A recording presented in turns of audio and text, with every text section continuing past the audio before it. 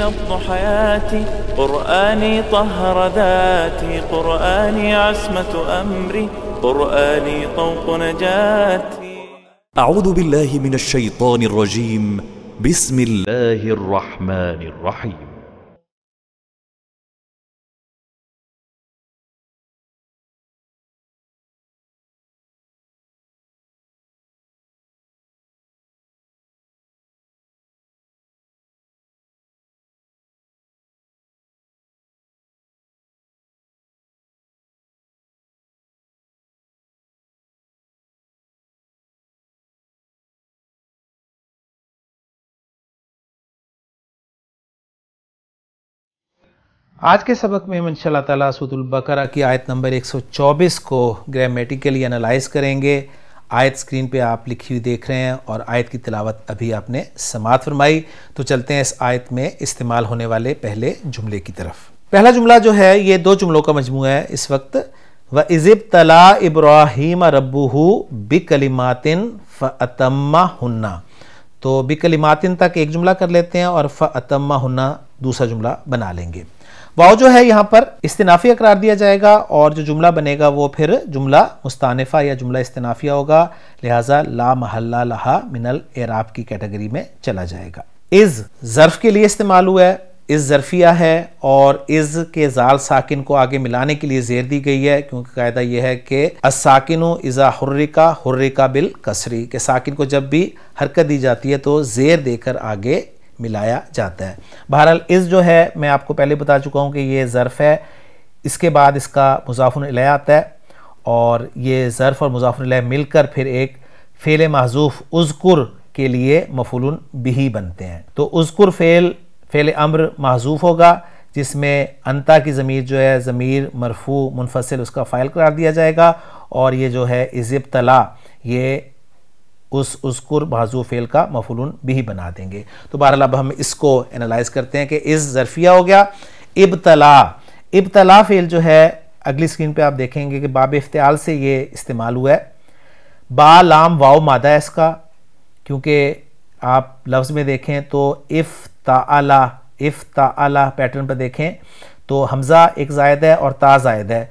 तो बाकी आपको मादा नज़र आ रहा है जो कि बालाम वाओ की सूरत में होगा। तो इब तलावा यब तलीबू और हम जानते हैं कि ये जो नाकिस वावी होता है, ये जब भी मजीद फ़ी अफवाह में जाता है तो ये नाकिस याई बन जाता है। तो इब तलावा यब तलीवु इब तेलावन असली, और फिर चेंजेस के बाद इब तला यब तली इब तेलाअन इसके एक माना है एहतमाम से आजमाना, आजमाइश में डालना, और इसके दूसरे माना है उलटना, पलटना। और आयत का रेफरेंस भी खान साहब ने ये दिया है कि वह इज़िब तला इब्राहिम रबू बि कलिमातिन फ़तम्मा हन्ना। और बड़ा खूबसूरत तर्जुमा किया है, और जब हर पहलू से आजमाया इब्राहिम को, उनके रब ने कुछ फरमानों से तो उन्होंने पूरा किया उन सबको तो यहाँ पर जो सीखा इस्तेमाल हुआ है, वो पहला सीखा इस्तेमाल हुआ है इब तला लफ्जी तर्जमा होगा, उसने आजमाया उसने आजमाया। तो फ़ाइल जो है वो हुआ की ज़मीर, लेकिन फ़ाइल आगे आ सकता है, क्योंकि पहला सीख है, ठीक है? तो फ़ाइल आगे आ सकता है अगर हमें कोई इसम मरफू नज़र आ रहा हो। तो इब्तला के बाद एक लफ्ज़ आ रहा है जी, इब्राहिमा। इब्राहिमा मंसूब है, लिहाजा ये फ़ाइल तो हो नहीं सकता, इसको हम मफूल बना देंगे। यानी उसने आजमाया इब्राहिम को। फ़ाइल अभी भी ज़ाहिर नहीं है, लेकिन जैसे हमने आगे नज़र डाली तो हमें रब्बू हु, एक मरकब इजाफी पैटर्न नज़र आ गया, जिसमें रब लफ्ज जो है, यानी मुजाफ जो है, वो मरफू है तो हमें फ़ाइल अपना मिल गया। यानी रब्बू हु, उसका रब। उसके रब ने इब्राहिम को आजमाया। जब इब्राहिम को उसके रब ने आजमाया, रब मुजाफ और हा जमीर मजरूर मुतसिल मुजाफुन ये फ़ाइल हो गया और इब्राहिम का रस्मुल ख़त आप यहाँ पर देख लेंगे कि या के साथ नहीं बल्कि हा की खड़ी जेर के साथ मुसफ़ में लिखा गया है। हम आम उर्दू में जो है वो हा के बाद या डालते हैं दो नुक्तों के साथ। भारत कुरान मजीद का अपना एक रस्मुल ख़त है, जहन में रखिएगा। बिकलिमातिन बा जर है, उसके बाद कलिमातिन का लफ्ज़ जो है मजरूर है। ये जमा सालिम मोनस का लफ्ज़ है। कलिमा की जमा, कलिमात। चंद कलिमात के साथ, यानी आजमाया, इब्राहिम को उसके रब ने चंद कलिमात के साथ। और यहाँ पर नकरा लाने का मकसद है, बड़ी बातों में, बड़ी बड़ी बातों में। और बड़ी बड़ी बातें वो क्या हो सकती हैं, आप माशाल्लाह जानते हैं इब्राहिम इस्लाम की ज़िंदगी को पढ़ते हैं हम तो हमें पता चलता है कि अल्लाह ताला ने उन्हें तो पहले औलाद की नमत से जो है वो महरूम रखा और फिर बुढ़ापे में जाके उन्हें औलाद अता फरमाई। और जब औलाद अता की तो फिर हुक्म दिया कि इस औलाद को ब्याबा रेगिस्तान में छोड़ाओ जाकर। और फिर उसके बाद अगला बड़ा हुक्म, जब वो चलने फिरने के काबिल हुआ तो हुक्म दिया कि इसे अल्लाह के रास्ते में ज़िबा कर दो। अब ये मामूली बातें नहीं हैं, लेकिन इब्राहीम अलैहिस्सलाम की ज़िंदगी जब हम देखते हैं तो उनकी ज़िंदगी में हमें हर पहलू में सब मिशन मिलती है। यानी ये वो आपका कमाल था, जिसकी वजह से अल्लाह ताला ने फिर ये कहा कि वत्ता खज़ल्ला इब्राहिम खलीला, अल्लाह ने इब्राहिम को खलील बना लिया, दोस्त बना लिया। यानी हज़रत इब्राहिम अलैहिस्सलाम को ऐसे ही ये मकाम नहीं मिला। यानी अल्लाह ताला का जो भी हुक्म आया, हज़रत इब्राहिम अलैहिस्सलाम ने ज़रा सी रुकावट के बगैर अल्लाह के हुक्म को जो है वो पूरा किया। ये वो बात होती है जिससे फिर जो आका होता है, अपने बंदे से खुश होता है। तो वो फिर बड़ा इनाम जो मिला हज़रत इब्राहिम को, वो भी आगे आ जाएगा। तो बे कलिमात यहाँ पर फिर कलिमात को नकरा लाने का मकसद भी आपको नज़र आ रहा होगा। बे कलिमातिन बड़ी बड़ी बातों में आजमाया। तो ये जुमला जो है, इब्तला, फ़ेल, अपने फ़ाइल रबूहू मफूल बिही, इब्राहिम और बिकलिमातिन मुतालिक से मिलकर जुमला फ़ेलिया।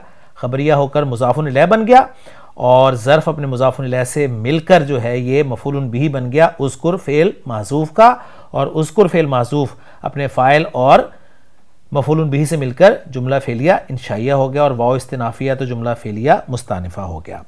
फ़तम्मा हन्ना फ़ आतिफ़ा हो गया।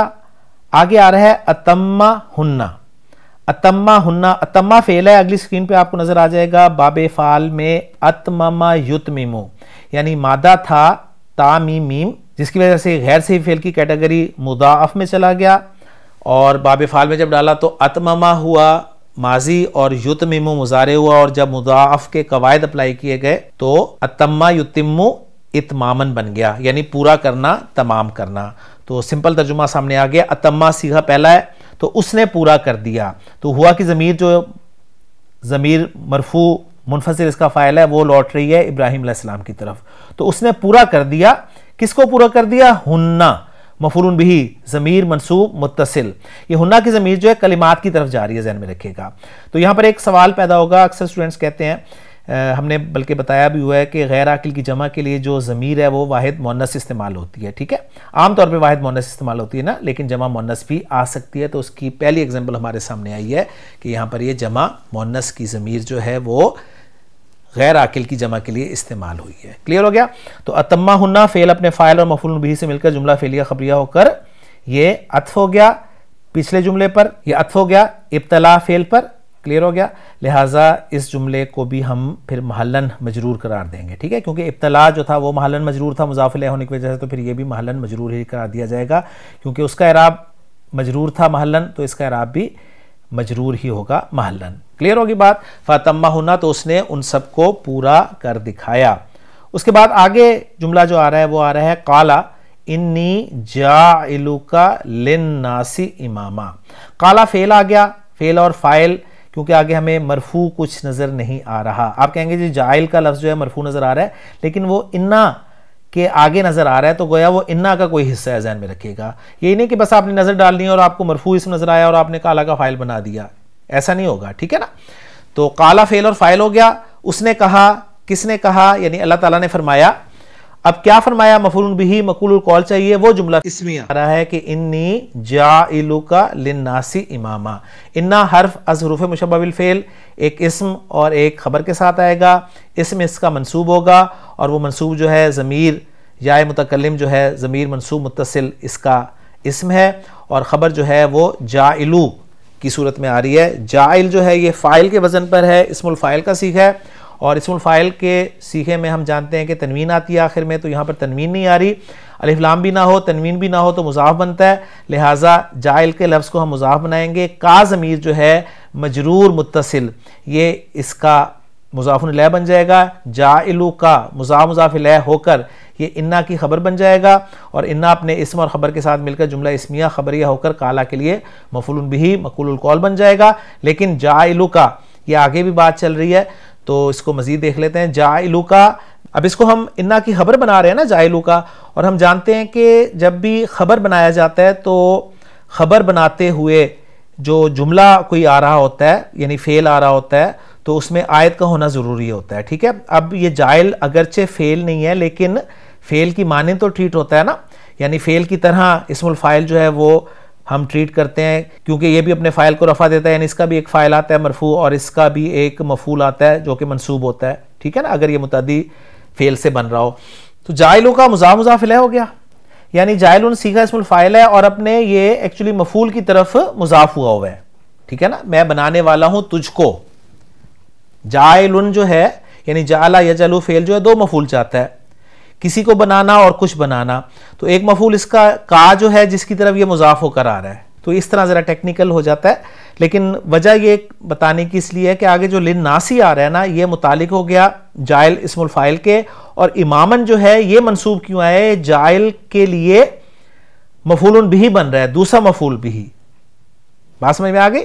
तो यानी जायल सीगा इसमुल फ़ाइल जो है अपने एक मफूल की तरफ़ तो मुजाफ होकर आ रहा है और दूसरा मफूल इसका इमामन की सूरत में आ रहा है और लिन्नासी जो है ये मुतालिक है। सही हो गया? तो ये जायलू का लिन्नासी इमामा जो है ये फिर एक शिबो जुमला होकर इन्ना की खबर बन जाएगा और इन्ना अपने इसम और ख़बर के साथ मिलकर ये काला फेल के लिए मफूल भी बन जाएगा, मकूल कौर बन जाएगा, लिहाजा इसको हम महलन मनसूब करार देंगे और काला फेल अपने फ़ाइल और मफूल बिही के साथ मिलकर जुमला फेलिया खबरिया हो जाएगा। उसके बाद आ रहा है, काला व मिन जुर्रियती। काला फेल और फ़ाइल हो गया और इसका फ़ाइल जो है, हुआ की ज़मीर ज़मीर मरफू मुस्तिर जो है, ये लौट रही है हज़रत इब्राहिम सलाम की तरफ़। और ये जुमला फेलिया जो बनेगा, ये जुमला फेलिया इस्तेनाफिया होगा। ला महल्ला मिनल एराब की कैटेगरी में चला जाएगा। उसके बाद जो आगे आ रहा है वह मिन जुर्रियती। वाओ, ये आतफा हो जाएगा। और मिन जुर्रियती जो है, ये जार और मजरूर का मजमु होगा। यानी यहाँ पर बात ज़ाहिर है, बिल्कुल क्लियर है कि मिन जुर्रियती के लफ्जी माना है मेरी जुर्रियत में से। यानी क्या बात पूरी नहीं हो रही तो कुछ ना कुछ हमें महजूफ मानना पड़ेगा। वो महजूफ क्या हो सकता है? यानी एक तो ये हो सकता है कि इज़ अल मिन जुर्रियती अमतन और यहाँ पर मिन जो है वो बाद के माना में है, यानी इज़ अल बादा ज़ुर्रियती आमतन या फिर ये भी कहा गया है कि ये हज़रत इब्राहिम की तरफ़ से एक सवाल होगा। यानी उन्होंने पूछा कि व मिन ज़ुर्रियती या रब्बी माजा यकूनू? कि ए मेरे रब, मेरी ज़ुर्रियत में से, उसमें से क्या होगा? तो फिर इसका जवाब अल्लाह ताला ने जो है वो आगे दिया तो ये तो थी इसकी आसान तोजी जो मैंने आपके सामने रख दी है। इसकी एक मुश्किल तरकीब जो है वो भी की गई है। यानी वाओ आतिफा के ज़रिए मिन जुर्रियती जो है, इसको अतफ किया गया है। जा इलू का जो पीछे आ रहा है ना, इन्नी जा इलू का, उसमें काफ जमीर पर। अब वो बड़ी टेक्निकल सी जो है, वो बात बन जाती है, जो कि हमारे बाज तलबा के लिए मैं समझता हूँ कि काबिल हज़म नहीं होगी, लेकिन शौक रखने वालों के लिए मैं हल्का सा उसको ज़िक्र कर देता हूँ कि वमिन जुर्रियती, इसका अर्थ जो है, जाइलू का के काफ पर है, ठीक है? और मिन को मिन तिबीजिया माना गया फिर इसमें बहुत सारे सवाल पैदा हुए थे, फिर उनके जवाब भी जो है वो दिए गए। मसलन एक सवाल ये पैदा हुआ कि ज़मीर मुतसिल पर आप अतफ करना चाह रहे हैं, और ज़मीर मुतसिल पर बग़ैर एदा ज़मीर या फ़सल के अतफ सही नहीं होता। लिहाजा मिन ज़ुर्रियती का अतफ काफ ज़मीर पर कैसे दुरुस्त है? फिर बाकायदा इसका टेक्निकल जवाब दिया गया है। मैं सिर्फ़ आपके सामने वो जवाब रख देता हूँ कि वो कह रहे हैं कि जी जायलुका में जायल की जो काफ की तरफ़ इजाफत है, वो लफ्जी है। हम जानते हैं कि मुजा मुजाफिल में जो इजाफत होती है, वो दो तरह की होती है। इजाफत मानविया भी होती है, इजाफत लफ्ज़ भी होती है। अलग एक बहस शुरू हो जाएगी। मैं इसमें इस वक्त नहीं जा रहा। और यहाँ पर जो है ये फ़सल के दर्जे में है, लिहाजा अतफ दुरुस्त हो गया तो उनका जवाब आ गया। फिर दूसरा सवाल यह पैदा हुआ कि इस अतफ में एक का मकूला दूसरे के मकूले पर अतफ आप कर रहे हैं। यानी वो पहला जो था ना, इन्नी जायलू का लिनासी इमामा, वो किसका मकूला है? वो अल्लाह ताला का मकूला है। जबकि मिन जुर्रियती, ये किसका मकूला है? ये हज़रत इब्राहिम का मकूला है। तो एक का मकूला दूसरे के मकूले पर आप अतफ कर रहे हैं। क्या ये पॉसिबल है? तो इसका जवाब फिर ये दिया जाता है कि एक के मकूले का दूसरे के मकूला पर अतफ जायज़ होता है। और इसकी एग्ज़ाम्पल बड़ी खूबसूरत वो देते हैं। वो कहते हैं कि जैसे किसी ने आपको कहा कि सा उक रिमू का सा उक रिमू का अक्रमा युक्रिमो इकरामन, इज़्ज़त देना, इकराम करना, मैं तेरा इकराम करूँगा। किसी ने आपसे कहा तो आप जवाब में कहते हैं व जईदन व जईदन अब आपने जवाब में कहा है व जईदन यानी व जईदन का क्या मतलब है कि अकरिम जैदन, यानी जैद का भी इकराम कर। इसको अतफे तलकीन कहते हैं। इसको क्या कहते हैं? अतफे तलकीन कहते हैं। ये बिल्कुल ऐसे ही जैसे कि सलाम के जवाब में वालेकुम सलाम कहना। ये भी एक के मकूले का, दूसरे के मकूले पर अतफ जो है उसके कबील में से है और इसमें कोई कबाहत नहीं है। तो ये फिर मुख्तलिफ़ जो है जवाब दिए गए हैं। बहरहाल ये जोड़ने के एतबार से जो थी, कुछ टेक्निकल इन्फॉर्मेशन थी जो मैंने आपके साथ शेयर कर दिया है। बहर अगला हम इसको सिंपल रखें। तो सिंपल बात फिर वो होगी, यही होगी कि काला व मिन ज़ुर्रियती को हम इस तरह करेंगे। वज अल मिन ज़ुर्रियती आइम्मतन, कि मेरी ज़ुर्रियत में से भी इमाम बना। अब फिर मुख्तलिफ़ तोजीहत की वजह से इस जुमले का एराब जो है वो भी चेंज हो जाएगा। इसको अगर हम उस जुमले पर अतफ करेंगे तो फिर ये जुमला जो है ये भी महलन मनसूब करार दिया जाएगा, क्योंकि ये उसी पर अतफ है। और आखिरी जुमला जिस पर हमारी आयत जो है वो मुकम्मल हो रही है, वो ये है कि काला ला यनालू अहदिस ज़ालिमीना।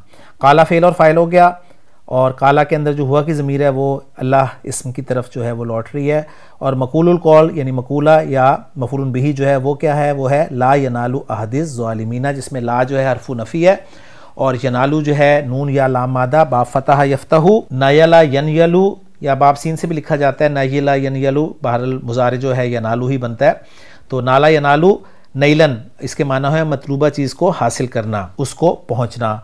और चौथे पारे की इब्तदा भी इसी लफ्ज़ से हुई है कि लन तनालबिरहत्ता तुनफिकू मम्मा तुहिबून और बड़ी खूबसूरत आयत जो अक्सर हज के दिनों में कोट की जाती है कि लई यनाल्लाह लुहूमुहा वला दिमाउहा, कि हरगिज़ नहीं पहुँचेगा, अल्लाह को उन कुर्बानियों का गोश्त और ना ही उनका खून। तो यहाँ पर पहुँचना के माना में ये आएगा, ला यनालू, लफ्जी तजमा होगा, वो नहीं पहुँचता। कौन नहीं पहुँचता? यानी फ़ाइल जो है यनालू का वो आगे आ सकता है। अगर हमें कोई मरफू इसम नज़र आ रहा हो तो हमें अज़ालमीना मनसूब तो नज़र आ रहा है, लेकिन मरफू कोई नज़र नहीं आ रहा। लेकिन हाँ आहदी जो है, या मुतकलम की तरफ़ इसम जो है, वो एक मुजाफ हुआ है और वो हमारे लिए पॉसिबल है कि हम उसे फ़ाइल बना लें। क्योंकि या मुतकलम की तरफ़ जब भी कोई इसम मुजाफ होकर आता है तो या मुतकलम जो है, उस इसम की रफ़ा नसब जर सब खा जाती है, ठीक है ना? तो गोया आहदी मेरा आहद।